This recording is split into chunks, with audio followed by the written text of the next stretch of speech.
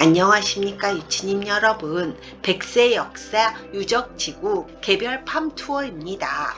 아들이 Visit Korea라는 그림을 잘 그리고 있습니다. 부여 왕릉원입니다. 부여 왕릉원은 사비 도읍기 왕과 왕족이 묻혀있는 무덤의 양식을 말합니다. 부여시장 맛집에도 갔지요. 세계유산 백제 역사 유적지구라는 표시가 보이십니다. 사비 시기에 석재 가공 기술이 발전하여 가공된 석재를 사용하여 무덤을 만들었습니다.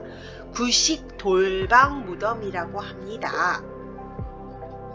초기에는 아치형으로 만들던 무덤을 사각형으로 변화하여 만들었습니다.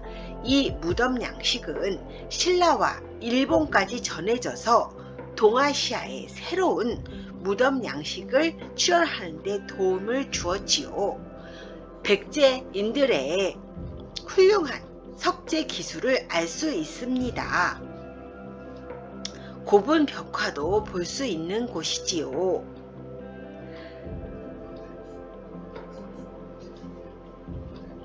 왕릉에 모셔진 왕족들의 명복을 빌었던 사찰도 보입니다.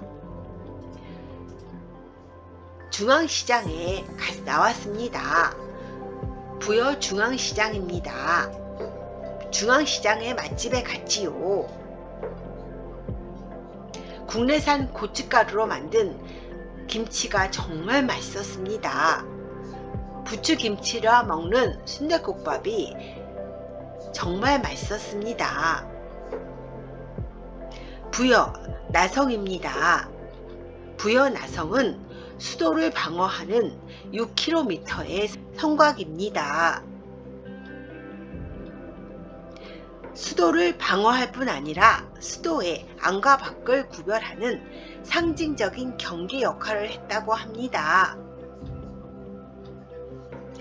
산지 구간에는 판촉 공법을 저습한 평지 구역 구간에는 부역 공법을 사용한 지역의 특성에 맞는 다양한 축조 기술을 사용했지요.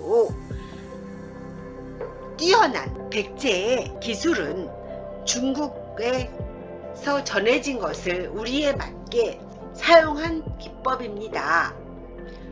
일본으로 전해져서 지금까지도 전해지고 있다고 전해집니다.